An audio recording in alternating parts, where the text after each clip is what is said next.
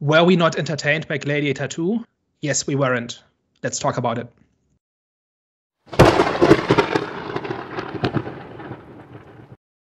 Hello, everyone. Welcome back. We are back. The Storm Podcast. Uh, today, we're going to be discussing Gladiator 2. It's going to be very interesting. But before we get into that, we are going to go straight to the movie recommendations for our 103 subscribers. We, by the way, oh no, we did we congratulate ourselves in the previous videos. We shout them out. We shout them out, but we can always shout them out again. Okay, shout out to We you can guys. always man. We- congratulate ourselves more. Yeah, we were saying thanks guys for having us reach the 100 mark. So if you're new to here, we, I'm saying we like giving you guys movie recommendations, and this is the segment for it. So guys, what is the most recent thing which you watched that you really enjoyed? I mean, is a surprise that I'm recommending Arcane season two? We had a discussion about Arcane season one a few weeks back. Uh, took Daniel some time to get into it, but eventually he sort of he loved it. Uh, of course, it's one of my favorites of the animated series uh, of all time. Season two does a sort of really good job of sort of building from where we started off, taking the characters into sort of kind of like new, interesting sort of directions. A little bit fast paced for me, how they're kind of like going through the story, and I kind of wish it wasn't the final season. I wish that they were maybe fleshing out what they're doing across an additional season.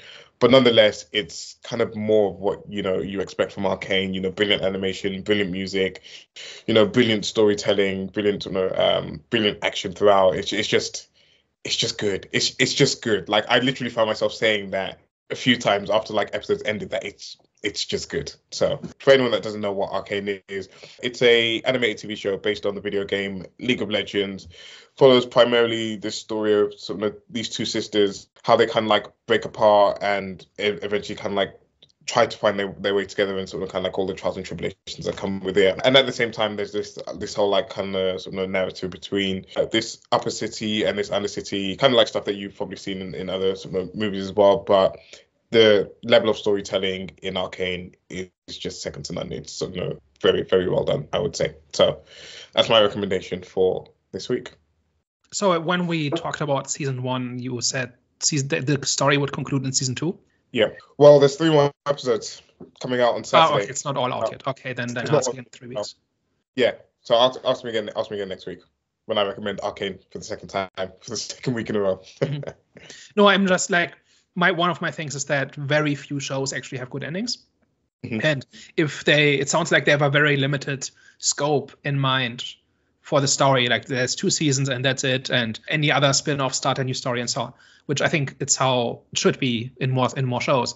And I was just wondering if they actually managed to do that in this case. I, w- I would say my, my concern six episodes out of nine into the season is that we're kind of hurtling towards an ending as opposed to you know really fleshing out. Some of the character changes some of the character development that has been happening in the story so far in season two so far so that's that's my like my only gripe you know it's, it's not about the story that they're trying to tell it's that the pacing of it is maybe a little bit too fast but again we'll see how it ends with you know the last three episodes that come out this this weekend Um, for me, I watched. By the way, I'm on episode three for um Arcane. So far, it's actually all right, and have the same reaction as the first season. But I'm just on episode three, so there's way more to go. So we'll see. Um, but um, I'm so my recommendation for this week, well, my recent thing that I watched this week was is a film called Anora.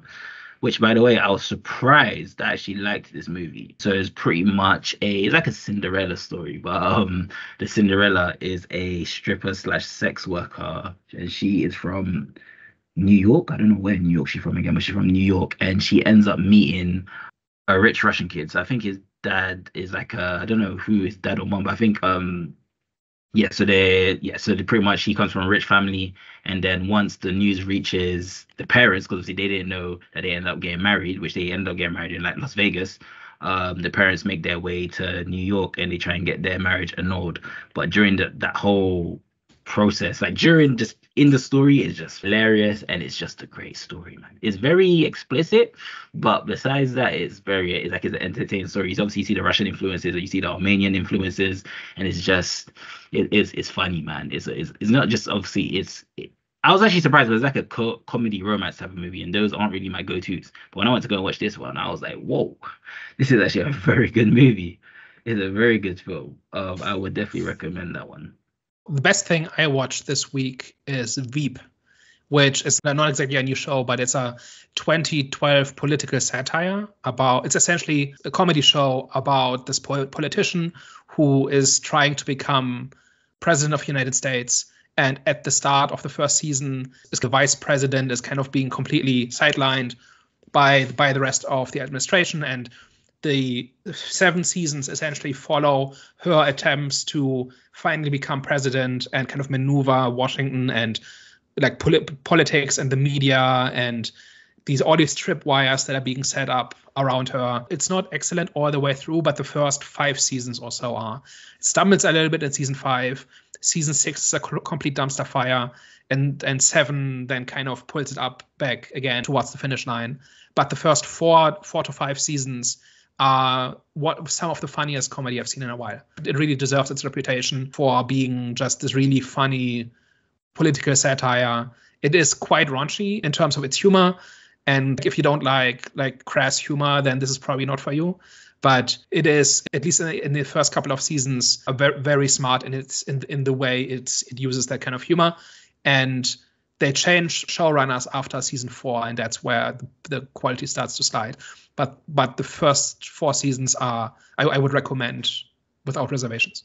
Looks like it's time for the main event. Daniel, can you please let the people know what the hell Gladiator 2 is about? So, Gladiator 2 is a historical action movie by Ridley Scott that follows the events of the first Gladiator movie from 2000, following the character Lucius, who is kind of a Roman in exile who gets who who lives in this city in northern Africa where that gets conquered by the Romans at the start of the movie. He becomes enslaved, is made a gladiator, and he kind of get, then gets dragged into Roman politics at a time when Rome was at a low point in terms of corruption and decadence and so on. And then the plot kind of unfolds from there. So, what did we think of Gladiator 2? Okay, so as a spectacle, as a movie, it was thoroughly entertaining. I will say that. All of the action sequences, all of the gladiator fights that were going on, uh, even like the, the boat fight that they had, it was all great. There was a lot of like strong performances in this. You know, Denzel he's always top of whatever movie he's in. I even thought sort of know the main main character, sort of know Lucius slash I can't remember what his, his second name was. Uh, was also sort of uh, really really well acted in uh, re- really putting uh, a good performance uh, in this as well. My gripe, like whilst whilst I I enjoyed what the story was, and whilst I enjoyed you know, kind of, you know, this idea of like this sort of prince, you know, going into exile and then coming back as a gladiator and this, that, and the other, and sort of then, you know, having to kind of like re-find his position in this Roman Empire, essentially. Whilst I enjoy that story, I don't think the movie did enough character work with a lot of characters or, or gave enough for me to be fully emotionally invested in the story and you know, in the conclusions of a lot of the stories. I, I felt, you know, whilst watching it again, like I was thoroughly entertained, but like anytime there was like this like character payoff or there was like a payoff between sort of, you know, two characters, sort of, you know, arcs, I just felt nothing really. And that was probably like the biggest sin of this movie for me. So in conclusion, on my non-spoiler, it's a it's a really good movie, just lacking enough character and enough heart to have me fully emotionally invested in you know how things concluded, especially in the final act.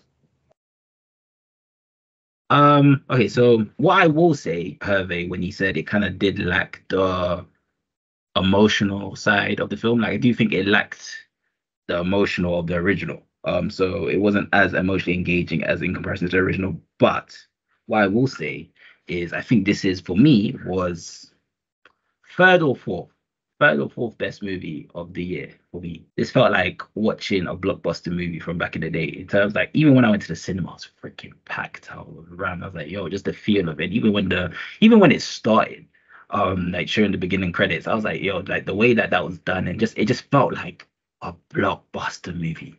And like I said, for me, I said it was third or fourth best movie of the year for me because purely for from its entertainment value, um, I do agree it did lack, you know, it lacked a lot of things which made the original masterpiece because I think you could kind of like feel like you can kind of be more emotionally engaged with the characters in the first movie because obviously of what the characters went through and it kind of delved in a bit more in terms of their characters, in terms of the way that they were. Whereas this one, it felt like it was a bit rushed.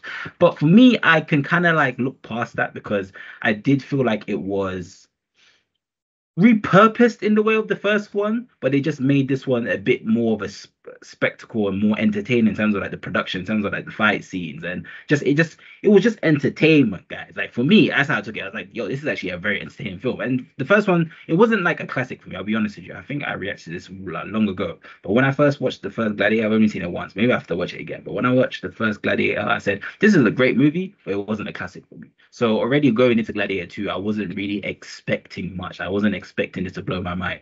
But when I watched this, I was like, yo, this movie was like it was amazing. Like just I was just engaged throughout, even though it did lack, you know, the whole character development of characters.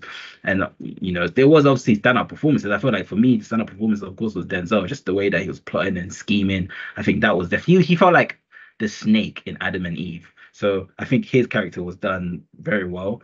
Um, and I, I liked Pedro Pascal's character. I think he his character could have been great if they gave him more time. Um, I think kind of like Denzel's introduction pretty much cut him off like sooner than I would have liked. But in terms of performance, I think it was great, and entertainment value was great. The fight scenes were great. Um, character motivations pretty much the same. I felt like like it was pretty much the same as before, but obviously before there was more depth. So I do understand that. But yeah, overall for me, the reason why it's third, fourth best movie of the year is because its entertainment value was it felt like a blockbuster movie from back in the day. So what I think people get out of this movie depends a lot on what they care about. So I think this is the best Rome has ever looked on on film. I think. I think the most fully realized, like everything is big and grand and epic, and you believe that this is the place that runs the world essentially right a massive amount of time and effort and resources and talent went into making this movie. And that makes it just all the more surprising that they forgot to put a story in. I had a really hard time really caring about lucius at all like just him as a person. I think he's extremely unlikable. He has no personality no character arc nothing. He's kind of just there. He's just a placeholder. And the movie then could have built something around him that amounted to an interesting story, especially when we are like in Rome and we're dealing with emperors and senators and all these people who have all this all these resources and all all, the, all this influence and all this prestige and whatever. They, they should be interesting people. And the movie simply forgot to give them personalities and goals. So in this movie, characters change their motivation and their outlook and their beliefs from one scene to the next and in the last half hour, I basically went on strike. I basically said, look, if the movie doesn't is not gonna get invested into these characters, and I'm not going to either. And by the t- by the by the last ten minutes, the last showdown, I was counting the minutes until I could leave. And I slowly arrived at that point over the course of those two hours or however long the movie is. Like I really went into it saying, okay, look, I vaguely remember the first movie. I remember vaguely it being pretty great. Don't have like I haven't watched it in like 20 years. I'm going into this fresh. I like Rome. I just finished listening to this podcast about Roman history. I'm therefore, uh, you know, an epic about Rome in its in its at its worst, right? And the, the the characters and the fates and everything that kind of goes into that.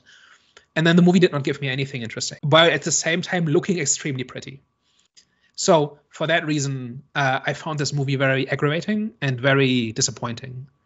And this is not the first movie where an amazing director just phones in his his like his work this year, right? Like there have been others as well where for some reason they forget how to tell a story. Like they can make a movie, like that, that on a technical level is wonderful and incredible, but they kind of drop the ball when it comes to actually telling a story. And I think that is why at least I go to the movies because I want to experience a story and I want to go on a journey with characters. And if those characters aren't there, then I don't care how pretty it is. Let's talk so about you, it. So do you get? Because I think, Daniel, I feel like like your opinion is pretty much the same as the people who didn't like this film, right? Um, but I think yeah. the reason why you guys opinion of them not kind of like there not being a story there because I do agree like character like the character arc for like they felt like there was no character arc for it. I even said it I wrote it down in my notes I think the only person that had character arc was Denzel's character whereas the rest it kind of they kind of felt like fillers and they were just there to serve a purpose so I do agree with that but I do think also that a lot of because Gladiator is a film which is loved by many, is seen as a classic. So I do think a lot of fans were hot, there's the standard that they set for this movie was pretty much a standard which has to match the original, like the brilliance of the original movie. So, and that's a more majority of times that doesn't happen. Like majority of times, sequels never match the brilliance of the originals. So, do you think, right? Especially, cause I don't know, Herbie, how you felt about the first movie, but for both of you, do you feel like the reason why you guys didn't fully enjoy this movie is because you did re- you said okay cool you said because obviously you know there was a lot of plot holes there was a lot of like character development cool like yeah, so you said that, but do you think it's because your standard was so high because of the first movie, the reason why you didn't enjoy this film? I don't think uh, so. I mean, so just would, just very. But if this was a standalone movie, are you still saying yeah. that you'd have the same opinion? I think so. Um, so first of all, it's a, it's a direct sequel that is directed by the same director 24 years later. And th- th- that movie includes flashbacks and ref- direct references to what happened in the first movie. So comparing it to the first movie is totally fair i think. And also if these movies are so similar and they're a direct con- continuation of each other and they're made by the same director and the sequel is worse in worse in pretty much in every way except for the visuals then I think that's a totally valid complaint. And I think if this was a standalone movie and there were no no names associated with it, I would still have the same complaints because I want to go on a journey with Lucius. I want to see what he does and why and what lessons he learns and what setbacks he like all of these basic pieces that go into what makes a, a fictional character still need to be there and those are completely neglected. Now it may be that they th- this existed originally and this got butchered in editing because this feels a lot like they just started taking stuff out until the runtime was acceptable. I don't know if that's what happened, but that's how it feels. But any skilled storyteller, which presumably includes Ridley Scott, should have looked at this and said, "No, this doesn't work. This, this, this, like, like we need to do this again. We or we need to put in some pieces here so that this character's journey, and not just Lucius, but every major character, um, their journey makes sense. Like motivations are not just changed; they're completely inverted. Lucius caring caring about Rome or not caring about Rome, or caring about family and not caring about family, or wanting or being willing to die to restore, restore the Republic versus wanting nothing to do with Rome. Like all of that changes from one scene to the next with no intermediate steps, more than once, for example. And there are also things introduced in the last 10 minutes, like this idea that Geta is mentally ill and like erratic and cannot be trusted with power that does not come up until the last 15 minutes. Like it's it's it's essentially just declared at the end and then he, and then he gets killed for being such a danger to Rome. But at that but up to that point he was just a guy right? So like this movie simply does not know how to foreshadow anything how doesn't how to set up anything how to seed ideas that can be harvested later. Like all of the ba- very, very basic, like it would be very arrogant to say that I can make a better movie than Ridley Scott, but this movie made me believe, right? Like the, I'm, I'm deliberately ex- exaggerating, right? But like, I don't understand how somebody who has made a movie before can look at this and say, yeah, this is okay. I think with Geta, they they did imply that he was kind of the lesser of the twins in terms of like control in, in terms of like decision making or like type of influence or whatever he always seemed to be a little bit more irrational. It, it like to me it seemed like there was like something off with him. But to kind of like answer uh, jonathan's question so i'd only seen the first movie very recently before watching this only, only like last week before watching sort of gladiator 2 so i didn't have the same attachment to that first movie that people sort of know that have seen it and view it deem it as a classic had and for me, the two movies aren't actually too dissimilar in terms of like what the story is and like eh, and how things unfold. But I feel like where people fall in love more with the first movie was that one Maximus is more of a captivating protagonist in in his story. Uh, he has a lot more, a lot more gravitas, and you know, people are behind him more in, in his story. And secondly, he has his direct foil in that first movie in sort you know Commodus or Joaquin Phoenix character, uh, character Commodus, in terms of like he was ultimately betrayed. He was trusted by sort of the Emperor of Rome to kind of like oversee the passing of power to the Senate. He was then betrayed by Commodus after again being entrusted by the previous emperor that died to foresee the power of like Rome being shifted to the Senate. And obviously, we also do see Commodus sort of kill the emperor as well, someone that he was close to, and then eventually sort of have Maximus be kind of like thrown to sort of the gladiator, um, thrown to sort of the gladiator pits essentially. So that immediately gives people enough emotional investment to kind of root for him to sort of overcome the situation that he's in whilst also wanting to see the downfall of Commodus. Uh, and for me, in that first movie, a lot of things that are happening outside of that main story aren't really that interesting. Doesn't really get fleshed out enough for me. And there, there isn't like there's this like kind of like scheming or, or like wanting to kind of like wrestle the power away, but none of it's really that interesting in the first movie. But it's it's just like the main character. It's Maximus who sort of really carries that first movie, and I feel like that's what's a little bit lacking in this in the second movie in terms of uh, Lucius's character. Again, he's like like Daniel said, he's not he's not the most likable protagonist that we that we've seen on screen, and at the same time, he has this like rivalry or like this like kind of sort of you know, hatred for the general Pedro Pascal's character, but we're not with him on that because we see Pedro, we like we see Pedro Pascal's you know, character's motivation. I, I, I don't want to call him Pedro Pascal. What's his name again, Daniel? Acacius.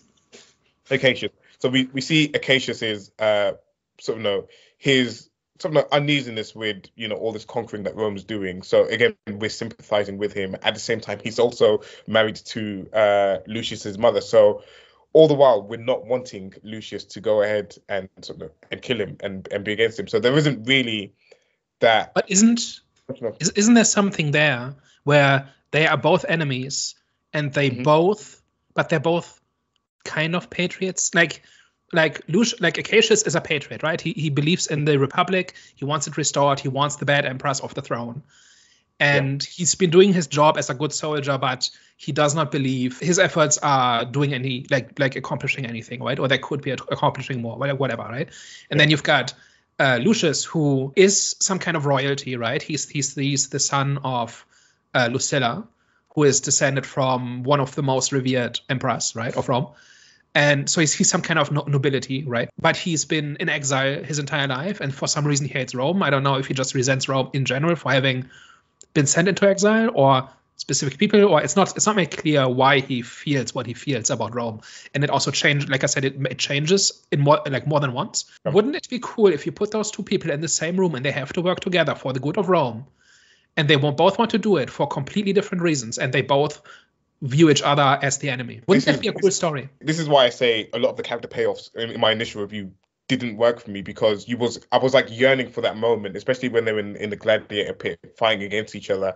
I was like yearning for that moment for them to realize that oh, like although he sees them as the enemy, they have a common goal in terms of sort of wanting to. Well, at the, at the time, you know, uh, Lucius didn't have that common goal. Lucius just wanted to kill him, but it could have been a case. But, but where, then in the end, both yeah. want to save Rome, right?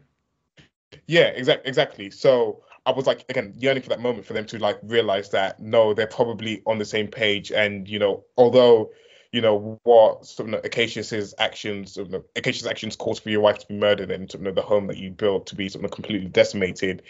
It was something that was against his will, and he was doing it just because he was kind of like told. And again, that then fits into Lucius's idea of like you know there needing to be a new Rome and having to like save save Rome and this and the other. I, I it just like, yeah, it, it just fell flat flat for me on on on that part. Uh, and it was it was like moments like that that were really frustrating in the movie, where you just kind of could see the potential in what they were doing in the story, and it just didn't go. And and again, like again, I know people want to tell the story. I know directors and writers want to tell their story, and of course, you know, we, you know, have to just kind of like consume it and you know whatever, and we can't go in there with like our preconceived sort of you know um, biases in there. But as you're seeing things unfold, you can kind of just like see the logical step of like how things really should have played out uh, in in that scene. But And, and I don't think I have that many preconceived notions, right? Like I now want to watch Gladiator again because I watched it at a time when I didn't really know the history very much, and not that Gladiator is all that historically accurate, but like, like I, I don't I don't think I fully appreciated what it was doing when I watched it because it was many years ago, right? So I wanna it's now on my list of stuff to watch relatively soon. And I like Rome on gen- in general, like just Roman history. I've got the box set of the HBO Rome series here somewhere. Here it is. If you want to watch something about Rome, watch this. I, I was generally, I, was walking in with no preconceived notions about where it should be. I did not have an opinion about the story. I had not really read any reviews. And Yeah. I was kind of, my like my enthusiasm was kind of unraveling in, in over the course of two hours because I just kept giving the movie chances and it, it just shrugged and said, we don't care that's that's my problem right? Like i think I, I think we agree that it has the potential for cool stuff right? If we just take like the basic ideas of these characters and the setting and the circumstances in which they exist you could tell all sorts of cool stories. My conceit is just that it, they didn't. Like they they did not bother to do, put something to put together something coherent. Like i'm not even looking for shakespeare or anything like that right? Although wouldn't hurt. But like just something coherent something like like give lucius like a coherent motivation for how he relates to rome and war for who and what he wants to be and why he would want to fight for somebody like like for a country that discarded him when he was a child. Like even even if that is what happened like i think that's even debatable but he might perceive it that way right? So so that that is just my my my issue with the movie and like the headline cost of this was like approaching 300 million. They got all sorts of rebates to push it more closer to 200 but that's a staggering amount of money and work and resources that goes into this. And every time they make a movie like this and just phone in the story that upsets me genuinely. Like like it's such a waste. It's a bit like like a five star chef who makes like a grilled cheese sandwich and burns it and then tries to sell it to me for fifty dollars. You know what I mean? Like it does not fit. It's not. It's not what it should be. And I and I'm sure everybody involved could do better if they wanted to. And I, I really wanna like get in a room with somebody like Ridley Scott at some point and just ask, do you genuinely not care about story? Like, do you think story is kind of whatever in movies? Like, if you've spent, you've made some of the most amazing movies ever made. You've do, been doing this for decades. Do you not understand, or do you not? Like, I'm sure he understands, but do you not care? Is is, is this like exactly the movie he wanted to make, or did, was he not able to do anything, anything better, or am I like, am I just going off on some down some rabbit hole and this is actually fine? Like, I like I don't understand. Like, I don't I don't know how how this comes to be. So I'm gonna start a Kickstarter for me to stalk Ridley Scott and have this conversation, and I'm gonna and I'm gonna we're gonna have a follow up video about this. No, but but seriously, like surely he can do better. I didn't even know you guys had that much beef with the main character. I didn't even have an issue with Lucius. Um, I do agree. so what what who is Lucius? What does he want and why? he pretty much it's, it's pretty much simple. So It's simple. Like he, well, he's the son of Maximus, and he pretty much wants revenge for the killing of his wife. Um, and like I do, I agree that I think it, uh, like something interesting could have been done if Pedro didn't that end up dying because I didn't agree with the way that he went out. I think they should have kind of like developed that, a story between where two enemies work together. Because I, but what I did enjoy about kind of like the build up to that was it's simple. The guy wants revenge for the killing of his wife, and the internal conflict is created, and the stake is created because the guy that he wants revenge on is his mom's freaking husband, and his mom's husband didn't even want to kill. Like he didn't even know that he killed. Firstly, he wasn't even really so responsible for killing the wife. It was the two twins. He, that's he why I led, thought, he led the army yeah, but that's not really the city. But that's not off his will though. That's off the will of the emperors. So that's why I feel like it kind of like added more stakes because like you're going after the guy who technically like he didn't even want. I'm pretty sure he doesn't even want to be responsible. He doesn't even want to take over. Um, so I'm saying um the country like the the It place was the not his that they take over. idea, but he did it. Yeah, he right? did it. So, so I, I understand. So, what I think what what could be interesting here is if they have to make common cause for some reason, like like to depose the emperors or whatever, but they have this this blood between them that they cannot like that. Well, Lucius cannot forgive Acacius, and that could be really cool drama. But that is not what happens in this movie. They do not team up in that way, and they do not have this conflict in that. No, in but that, that's- like because of pursuing that common goal. No, but that's what I was gonna say. Like it, that's that's what I'm saying. Like him, them killing um Pedro's character. Keep, keep forgetting his name, but them killing his character. It obviously doesn't allow for that to actually happen. So that's why I said it could have been a thing where um that's why for me I didn't have an issue with his character motivation because it was like, listen, it's, it's a simple character motivation, pretty much, yeah, and it is a sticky one because like I said, that's the um he's going after his mom's husband who didn't even really want to, like I said, he like he doesn't even he's not even on the side of the emperors. Is that for me is the emperors that he should have been going after but obviously he's just going after the person who's yes by default he's responsible for his wife's murder. So that's what i thought was interesting and but that's why i thought his character motivation was interesting. And it was simple but it was interesting. I say it was simple because based on the originals pretty much repurposed from that but it was like watered down and there was less there was less depth to it. But i think it could have been even more depth added to his character motivation if he ended up working with pedro's character. So that's why i do agree that you know it did his story fell short by Pedro's character dying. However, before all of that, it was pretty strong. It was cool. Like it was like okay, I I, I can see the stake here. Like I I, so, I can see why that it kept me engaged. His story kept me engaged because I could see like it, I can see the stake. Pretty much what I'm saying. So in one scene, he completely refuses to to fight, essentially enduring torture, essentially out of defiance. And then the next scene, he's a willing gladiator, and in one scene he completely rejects any any kind of association with Rome, and then in the next scene he want he goes on this mission to save Rome from the tyrants. Right. So my problem is just there's there's a beginning and an end, but everything in between is missing on on more than one occasion. Yeah, but all of that is impacted by certain things that happen. So he ends up wanting to fight for Rome because but you don't see him go through that journey right you you do you it, it, it skips the entire thing without any kind of plausible explanation of why he makes that choice like there's no scene where he has some kind of realization or is put in a, into a situation where he has to choose between two things and he chooses Rome, for instance, right? And from the, from that point on, he devotes himself to to fixing Rome, right? Because that is what the final confrontation is about, right? Like him fighting Macrinus, right? The Denzel Washington character that is just about preventing another bad guy from being on the throne, right? And trying to restore the Senate. That no longer has anything to do with personal revenge or anything like that. Hmm. So, like, I, I I'm just saying everything surrounding like this is supposed to have like pathos and personal drama and kind of the kind of the fate of empires is reflected in the decisions of individuals. Like it's supposed to work on that kind of level and that part just simply doesn't work at all. There's also other like we, we focused a lot on Lucius, but there's also other stuff where they simply forget to tell the story. So, for instance, it's commonly said that Rome is basically on the brink of collapse or is like in, in a bad shape, and basically it's barely functioning, and the games are just an expensive distraction that will just that just makes the problem worse because it just wastes more money on kind of creating the illusion that Rome is healthy, right? But we do not see Roman dysfunction. We see a couple of beggars in the streets, like on two occasions, and that's it. There's nothing else. There's nothing else that suggests that Rome is dysfunctional. Probably, like Rome has always had beggars on the streets, right? So if you take that aside as a symptom, there's nothing to indicate that Rome is not functioning.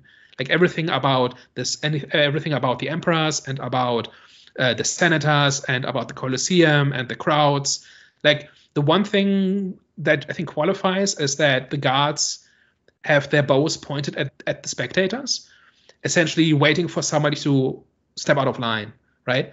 So that that's one sign that they rule by fear, which not sure that even makes sense because it like the point of the Colosseum is to kind of to entertain kind of the mob, right? So why why you want to openly intimidate them like that not sure that makes sense but okay. Throughout the movie had two hours to convey to us that something is broken at the heart of rome. We don't even see the emperors do anything that crazy right? We don't really like they're not good leaders right?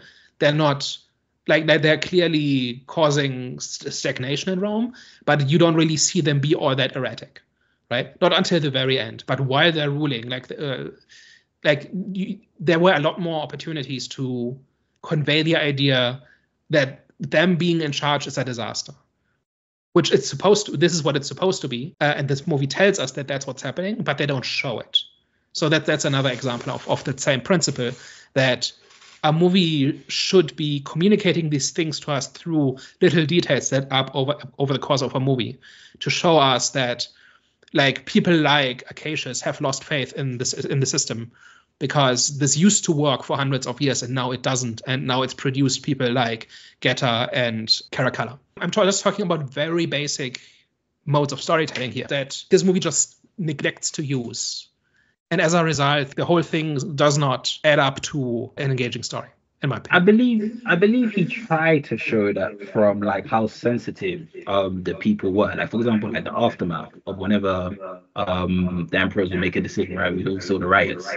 Pretty much the sensitivity of um the people of Rome. And obviously you saw in the aftermath of whenever the emperors make a decision, you see the riots. And even within like the stadium, like they'll be easily riled up. Like even like they'll be very vocal in terms of if they disagreed with something. I don't know if that was done in the first movie. So in the first movie, like whenever emperors would make a decision, were they very vocal? Like were they vocal with whenever they would disagree with something, or was there like any like riots or anything going on against the emperors? In the gladiator pits were more to do with kind of like the fights that were going on and not you know people's like day-to-day lives and so, um, again like the, the, story's trying to make you believe that you know these people are oppressed or like these people are going hungry because you know these emperors are you know kind of like power hungry and are just kind of like chasing after sort of new lands to conquer again and again and again and you know at the expense of sort of, you know the people that are living in rome. And i i, I don't think you know the kind of like decisions or like sort of whether you know someone can like live or die in like the gladiator pits would you know, incite that or like would something to kind of like make people, you know, like I, I don't think like the reactions to that like would indicate that they're like unhappy with some of the regime that they're that they're living under. And if anything, it just showed that the people like were really behind Rome, even when sort of you know, even when you know uh, Acacius and his like his you know soldiers came back from sort of conquering uh, Lucius's uh, Lucius's land, they were being like celebrated and cheered on the streets by some of the people of Rome. Like they were like grateful for what they were going to do.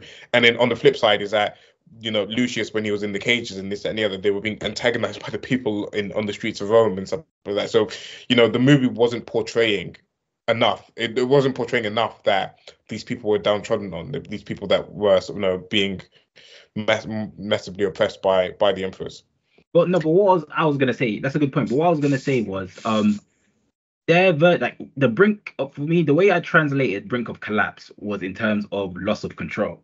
That's what I was trying to say. So I was thinking because I don't know how they like how the people were reacting in obviously you know in the stadiums, how they were reacting to obviously Emperor's decision. But in this one, when I was seeing like the way that they were reacting and even the response to decisions and the aftermath, the riots, and I'm like, okay, so I think he's trying to translate that the brink of collapse in Rome is just like pretty much they're losing control. And I think there was like a couple of scenes where Denzel was um like saying like I don't remember what scene it was, but he kind of like said something where he was like Rome is falling, this is all they know. And obviously I think there was a scene where like if if you don't give the people what they want or something like that, you're going to lose control or something where something happened in the stadium where you pretty much implied that they were losing control. So that's why I thought, oh, okay, so Rome is on the brink of collapse because people are pretty much they're they're becoming less scared of the empire is how I translated that, you know, brink of collapse. So that's why I said to myself, oh, like for me, like they showed Rome, not not great, it wasn't portrayed greatly, but they did show Rome how it was on the brink of collapse because they were losing control. Like the people get more like it's like, it felt like the people had more control than they did, than the emperors did, and it didn't feel like that in the first movie. So that's how I translated. Oh, okay, so mm. that's what they mean in terms of you know Rome is on the brink of collapse. I think some somebody I don't know if it's Macrinus or somebody else who says something like, "Well, there's always riots and we always put them down, so we don't need to worry."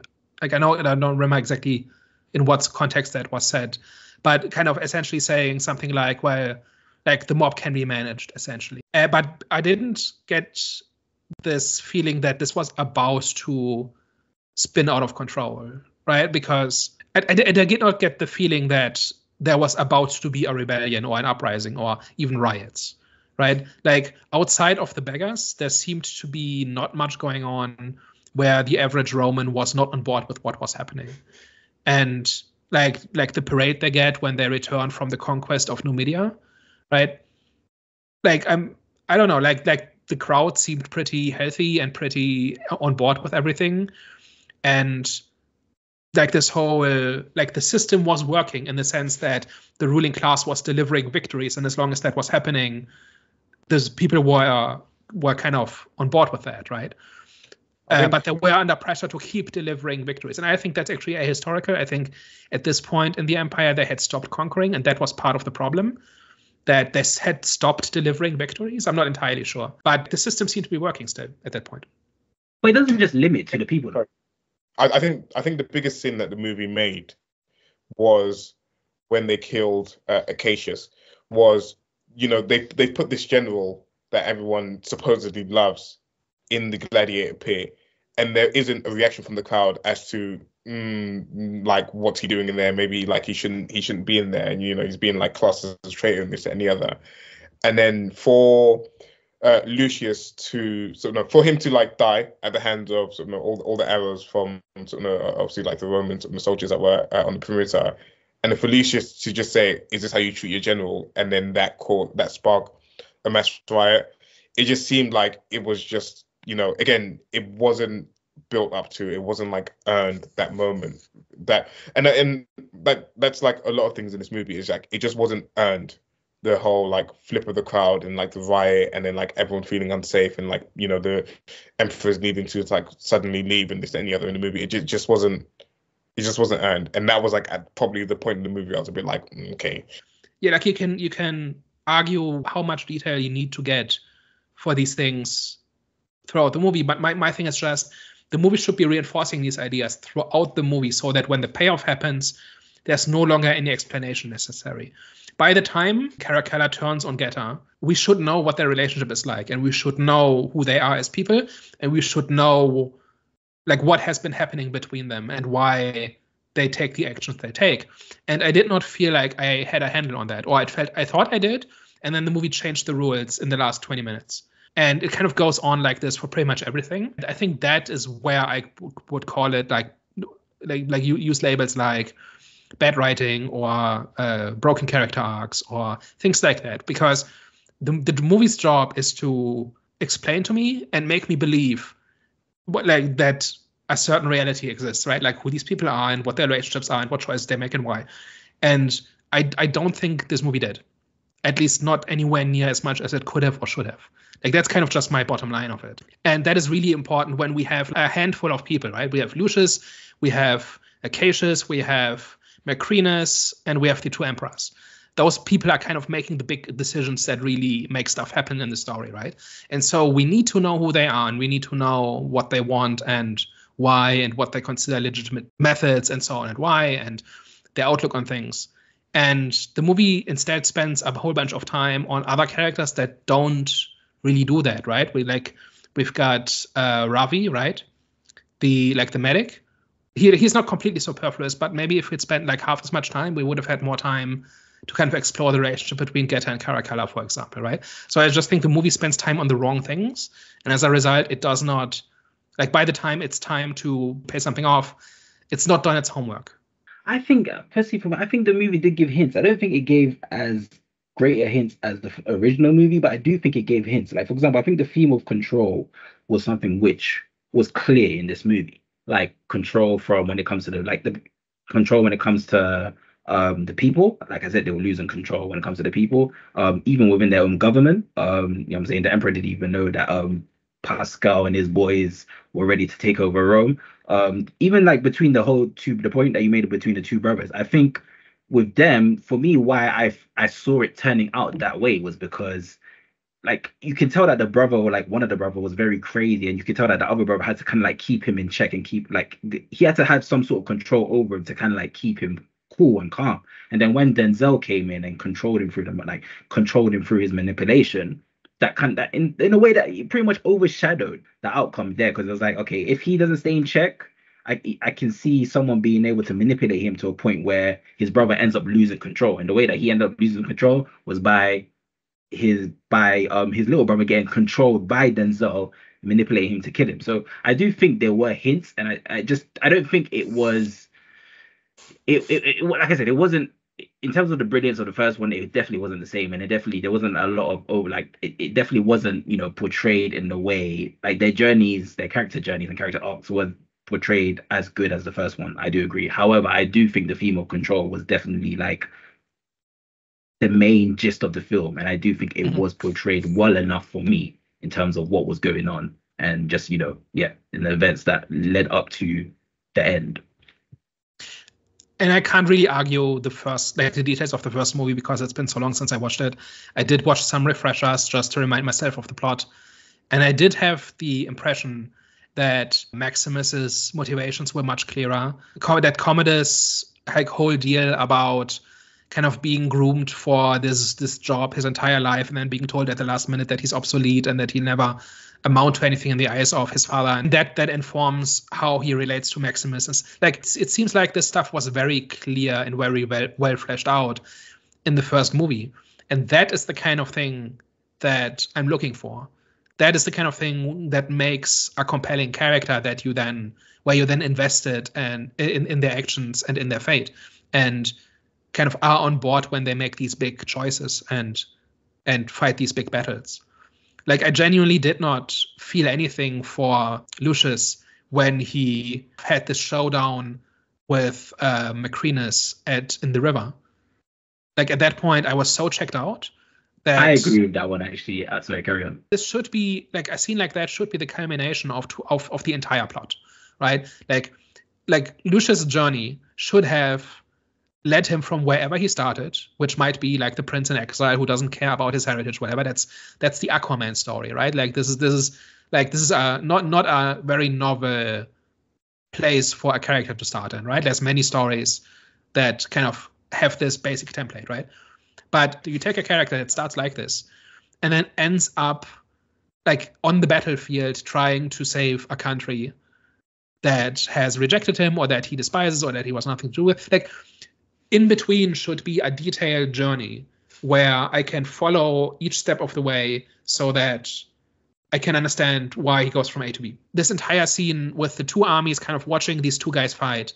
I did not know why Lucius was fighting that fight. I did not know why he cared, why he why he wanted to risk his life. And I also like whatever explanation the movie gave me, I stopped believing 20 minutes ago. Right? That's that's to me kind of really the bottom line. And I don't really care about the details. Like I enjoyed like the gladiator fights and then and the stage naval battle and everything. That, that's all great. I was even on board with the CGI rhino and everything. But ultimately, what makes this movie memorable or not? Like I think the reason that the first movie will remain memorable and and, and has for 24 years and will continue to do so, and this one doesn't, is because the the main character and the journey they go on. And if that is broken, if that does not work, then everything else is becomes forgettable. I think. I, th- I think that's the difference between a memorable movie and one that isn't.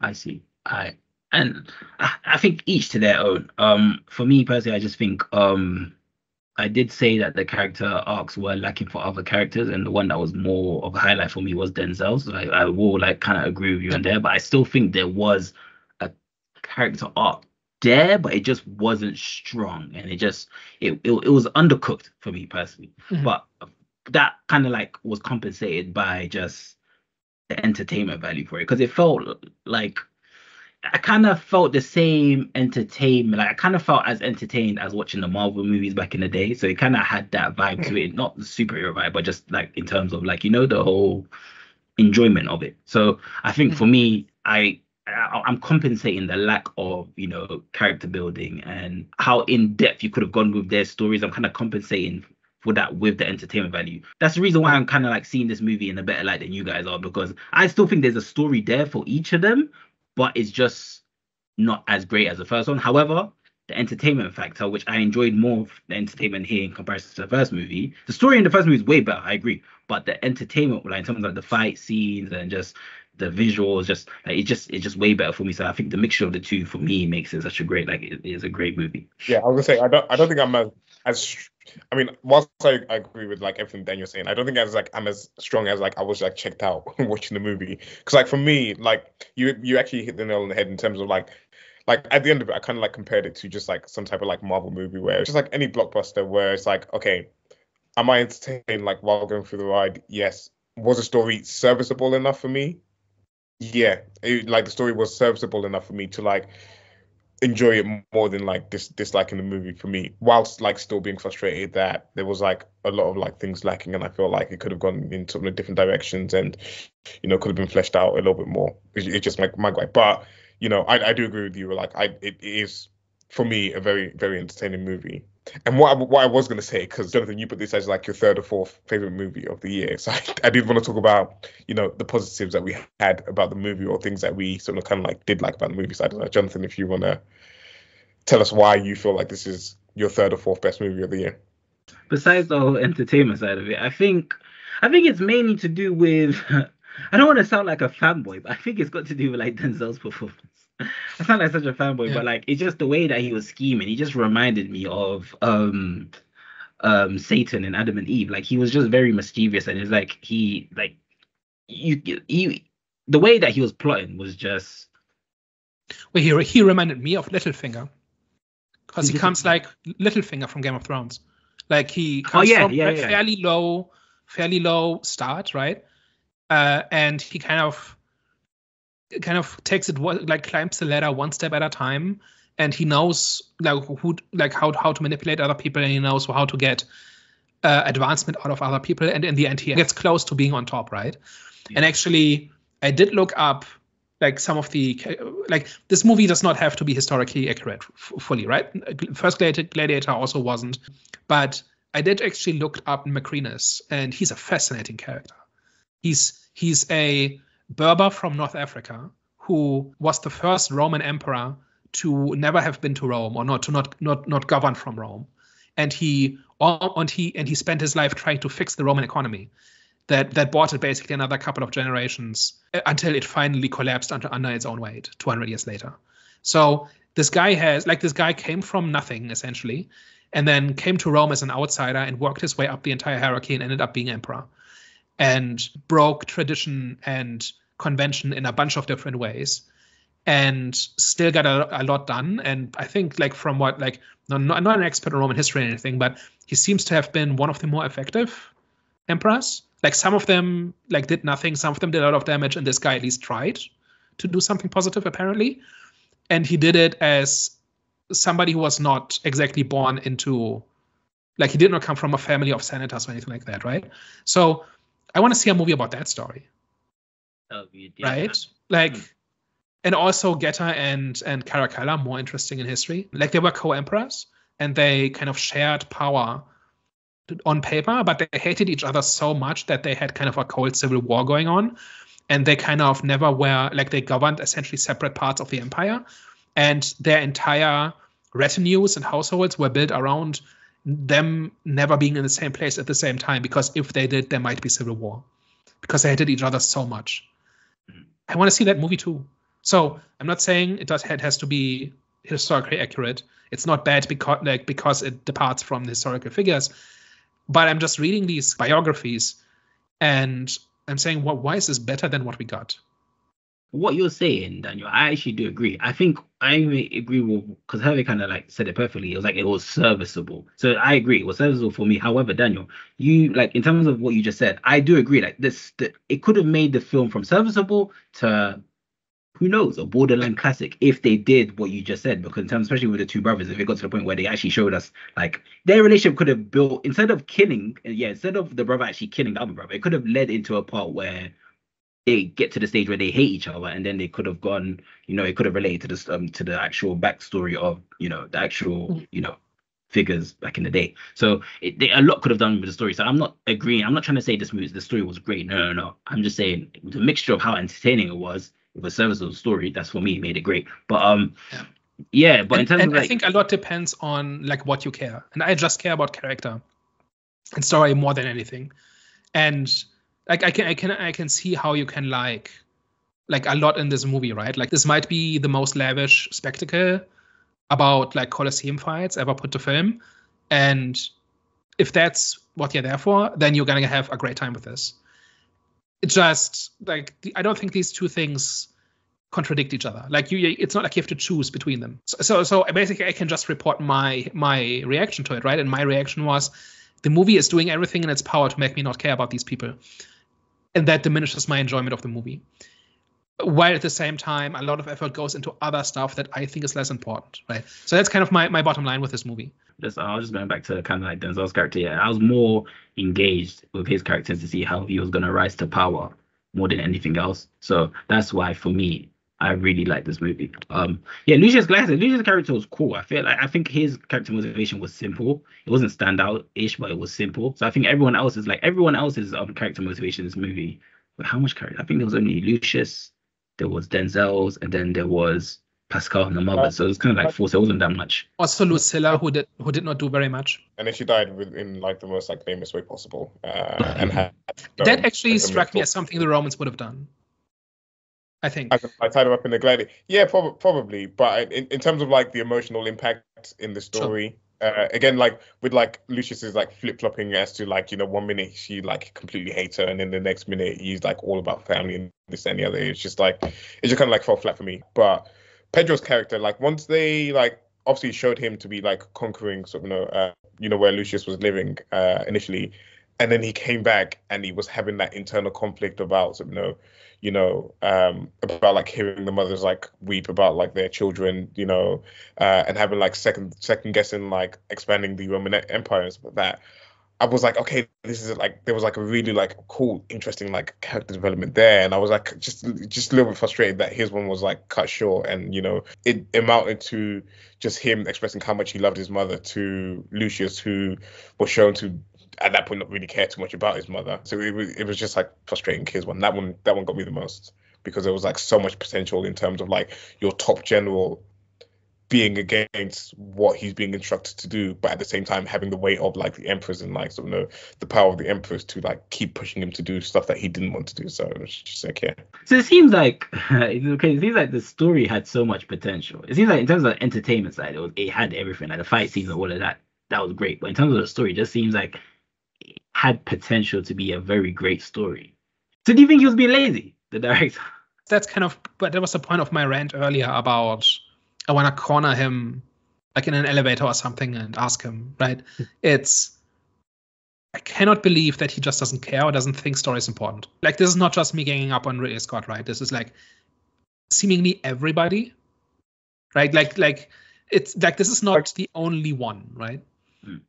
Mm. It's it's a common thing that we've said about so many movies this year, where like the premise or the idea behind it is great, or like so you know elements of it are good, but somewhere along the lines something goes wrong or something like is missing, and then we just end up with something that feels half baked or feels underdeveloped. And I don't know whether it's you know how movies are being written today, or whether sort of, you know they're bringing in the wrong writers, or whether the directors don't have the right control, or whether it's like studios meddling. I don't know what it is, but it, it just seems like there's always something that's causing these movies to fall short of what they potentially could be. and it's not just like millennials who live on Twitter or something like that, right? Like whatever pet explanation you want to come up with about how, like, I don't know, the new generation doesn't know how to tell stories or whatever. Like, this is Ridley, like Ridley Scott has been doing since this for decades, right? And Martin Scorsese, same way with Megalopolis or whatever it was.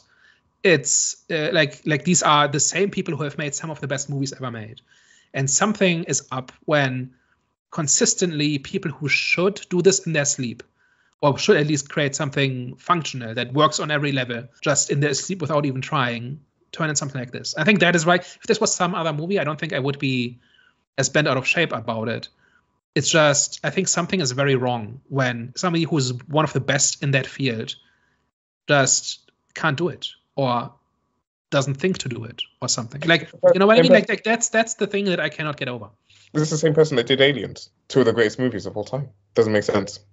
And I don't know if he's like, I don't know that anybody's telling Ridley Scott no. That's the thing.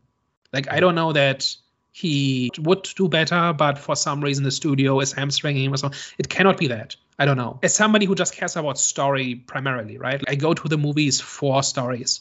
And so when some of the best people in the field cannot put together a good story, like if you have $300 million to play with, you cannot claim that you tried, right? Like nothing short of excellence should be the benchmark when when you are operating on that scale, right? With that amount of experience and those, that amount of resources and everything, it's just strange. Like I'm not even angry about it. Like I'm not I'm not doing the fanboy rage thing.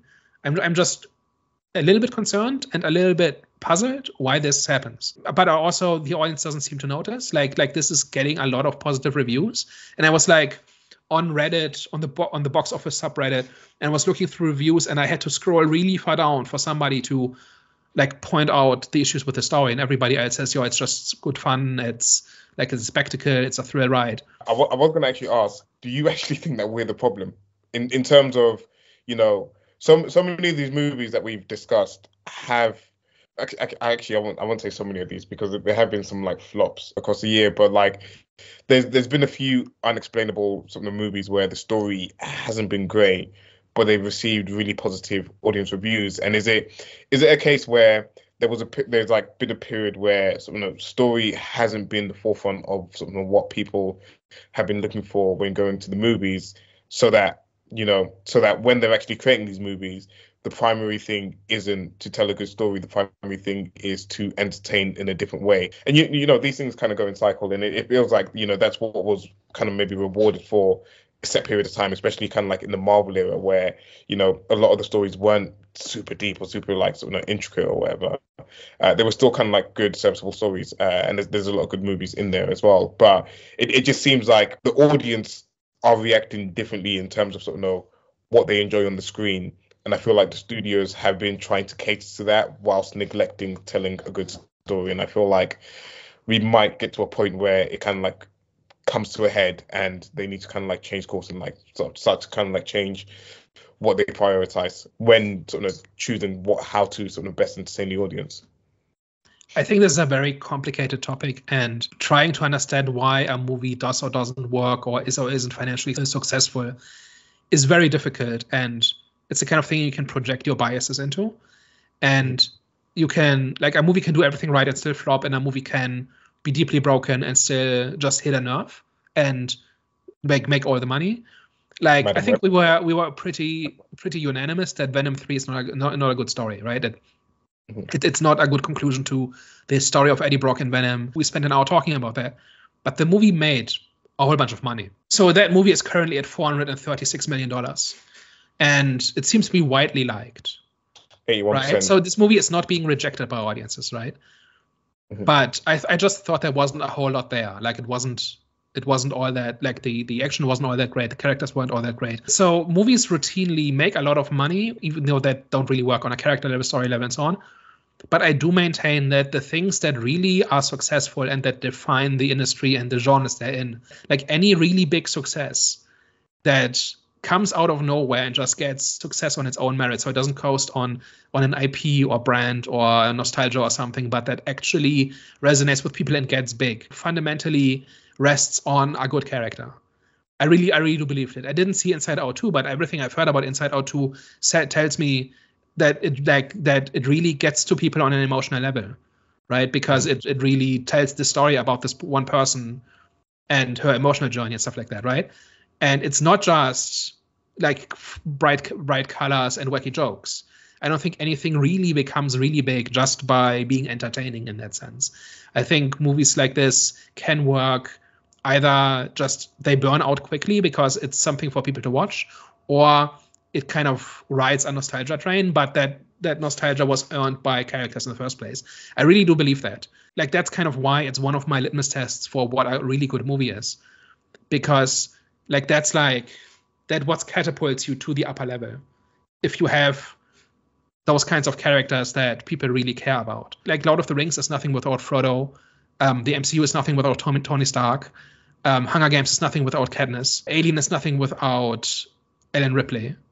The list yeah. goes on, right? Like every big story that that people care about rests on characters, at least one. That's why I agree with you. And what I was saying is that it feels like we're in an era where people have seen the success of sort of those movies that you've listed there, but they don't understand the essence as to why they were successful and are just doing things that they feel audience will react to well. Uh, yeah. And it, and in some cases, the audience do react to it well in terms of sort of like, you know, the Venom movies. I've, I've never understood how the Venom movies have made sort of, you know, the amount of money that they've made, but for whatever reason, people, you know, continuously go out to see the Venom movies, and if, if it feels like, you know, like like I, I 100% agree with you. Like you're not going to build a brand new franchise off of sort of telling a bad story of you know of a character that no one can sort of completely like resonate with and this and the other. You you need that foundation. You need that story and that sort of character to build that foundation to kind of like build uh, that emotional connection to you know with that character. But it, it just seems like what we're getting at the moment is a lot of movies that are again built on something what's come before. That's why we're getting so many of like IPs being dug up. Like even this movie, Gladiator 2 is an IP from you know 24 years ago that they've like dug up and of made a second movie about, um, just because of sort of people's emotional connection with the first one. They've like turned it into a spectacle without kind of having the same respect of the story and you know the same respect to sort of the character of Maximus, which made him sort of so popular initially. Which is which is what I'm saying. I, I feel like eventually we'll, we'll leave this era where you know we're so kind of like focused on or like they're so focused on just like providing the wrong kind of entertainment and hopefully we go back to sort of know that story and that character being the forefront of sort of know what these studios are trying to sort of know put out and you know what's actually being rewarded. And it's not like Hollywood has ever been flawless about this, right? Like the yeah. like most movies in all eras have been not that great. But there's been like the steady trickle of like somebody has a good idea and it's done well and it finds an audience and that's a big success and that then joins the pantheon of pop of of pop culture and of movie movie culture. Yeah, I, th- I think there's been a shortage of that, like in the past ten years or so. Like I think the 2010s still had a few, but that kind of fizzled out towards the end, and we're now halfway into the 20s, and it feels like this stuff is getting less and less. If anything, it's like, more TV series. If, if anything, that's kind of like transition to TV series as opposed to movies. You know, you're you're getting like these like really big shows that really take off and like you know get these like really big following and stuff and it's, it's happening less and less in movies it seems maybe but they still have all the resources they could ever want right so yeah. it's it's a bit puzzling for why they don't seem to try especially since like there's now this push for more theatrical releases again right after trying to make streaming work for a decade and so that that, that ultimately means there's still money there and and there being um, there being money there means there's an audience there right? And when something does work it does make all the money right? Like we've had successes this year like deadpool and inside out and other things that just go past 1 billion 1.5 billions or more just because they really hit a nerve and they found their audience. And when you do that they seem to like there's still there's still the money there. So it's not like nobody's watching movies anymore. Probably not. You, you, yeah, you can you can argue like Deadpool hasn't got the greatest story or sort of kind of like character development. But people like the character, like they like, the, like, the, the like those movies deliver what they're supposed to deliver, and they're very focused on the character. Yeah, Dead, um, Dead, Deadpool questionable in, in, terms of like the story wise of it. Like it's no, but but like that's just a thing of like people showed up again to the theater once they were being offered something they wanted is, is my thing yeah. right? Like and whenever some like a movie does that it's you still get these billion dollar successes right that you just don't get in tv yeah. Yeah. So last question. Was gladiator 2 needed? Should they have just left it off at gladiator? So I, I i still think there's the potential here for cool stories. They just didn't put it into a shape that i found satisfying I don't think any movie is needed. The question is like, does what does it offer something? And I think this movie does offer a few things, but it's it, it leaves so much potential on the table, and doesn't replace it with something that is equally good. That I just I just walked away frustrated. That and that like and, and as a, a result, I had a negative experience watching this movie. But I think this absolutely could like you could tell like this, you could tell another story about a gladiator in another era of the Roman Empire and who was just in in different circumstances than the one from the first movie. But there's enough of a connection there that it's that it's a sequel or what. Like, nothing about this is broken from the start. I think so. I don't think there was any any uphill battle for this movie as far at least as far as far as I was concerned. Like like all my frustrations with the movie came as I was watching it. Didn't bring any of that into the movie like at the start. And you can see like the fact that people showed up for this movie means that there there was that clamor for it. There was that like sort of want to kind of like revisit this world. So in, in terms of like them, you know, wanting to make more, like I don't think people are against it. Uh, and I, I mean, people enjoyed enjoy the first one and probably will turn up for uh, another movie if they do make it. It's just like you just have to be for for okay for people like myself and Daniel. You just have to like deliver a little bit better on you know, the story and the characters in it. But in, in terms of like doing more in this world, I'm like I'm all for it. Like I I like I want to delve more into some of the Roman history. It's like a period of time which seems to have like a lot of like fascinating characters and a lot of sort of fascinating Yeah. stories that are going on. So it's just like you know There's a reason why people have been fascinated with it for centuries. Yeah. So just doing more of that. All right. Well, unless anyone's got anything else to say, I guess it might be time for the last thoughts. I mean, with with everything said, my score is probably gonna feel a surprise. But I was like, I, like for the cinema experience, I enjoyed it so much. I, I enjoyed this movie so uh, a lot. Came out of it with some some gripes uh, about the story and character, but again, for me, it it did enough to make me enjoy it. Probably not one that I would revisit though which makes me re- reevaluate my score. It's, it's not one that I'm like rushing to revisit uh, at all. So, with that saying, I will give it a I'll give it a seven out of ten. For me, I think I enjoy this a lot. Besides, of course, I mentioned entertainment value a lot, but I think the reason why I enjoy this a lot was because I treat it like a standalone film. You know, even though obviously this is a sequel, like the first one came out so long ago, so it is. I wasn't kind of like comparing it to like I wasn't ex- and even the first one, even though the first one came a long, t- like, a long time ago, it wasn't like a classic for me. It was a great movie, but it wasn't a classic for me. So with that in mind, and also that it was, you know, I treat this like a kind of like a standalone film. It, you know, it was definitely. I had a great experience with this one, man. It was, it was fun. It was fun, and I, I, I wasn't expecting it to have like a. Even though I wouldn't have been mad at it, I wasn't expecting like you know, you know, Maximus's um death to have any impact on the sequel. Even though they probably should have, but I don't think um for me I didn't I wasn't expecting that because like I said, I wasn't expecting nothing. And I think a lot of people that enjoyed this movie, I think that that's a lot of the I think the reason why they enjoyed it so much was because they treated it like a standalone film. But yeah, man, so I think uh, all in all it was a it, it was a great movie for me. Before I said 8.5, However, after today's discussion, you know, I'm seeing it in a different light. The light is is still for me going to be fourth. I'll probably say fourth greatest film instead of first. I'll say fourth greatest film, and I'm going to give it eight out of ten instead of an eight point five. Because before I gave it eight point five, but I'm going to give it eight. Give me another three hours and we can put that down to a seven. but that is that's funny. But this would be a film that I would watch again, though. Yeah, so um, I think there's a lot of details in this to like. The spectacle, the sceneries, the individual characters and moments are, ju- are fine. It's not like it's a train wreck or anything. It just it's got a hollow core, and I think movies like this, I think, rest on that foundation. And if that foundation is missing, then you've got a problem. And that is exactly why I had a frustrating experience with this movie and did not walk out having enjoyed myself.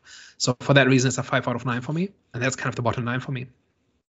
Well, today's been interesting, guys. I don't know when was the last time we actually had a debate because today was a debate. I feel like, but it's guys. Well, anyways, guys. We've, we've disagreed about movies, right? Like, but Yeah, but I think we've I think our past films we've kind of like been we've like we've agreed with each other for our past movies. So I think this one is refreshing that we're actually bumping heads now. But um but yeah guys, hopefully you enjoyed today's debate. Are they? Yeah, let us know uh, your thoughts down below. Where do you sit with Gladiator 2? Do you love it? Did you see some flaws in the stories like we did? Let us know down below in the comment section. And of course, if you enjoyed the video, tell a friend. And if you hated the video, tell an enemy. And and donate to my stalking uh, Ridley Scott Kickstarter. Link in the Yes. comments. We will get Mhm. answers. We will get answers. One way or the other. Alright guys, you heard it here first. Uh, we will catch you next week. Au revoir. Ciao. Bye bye.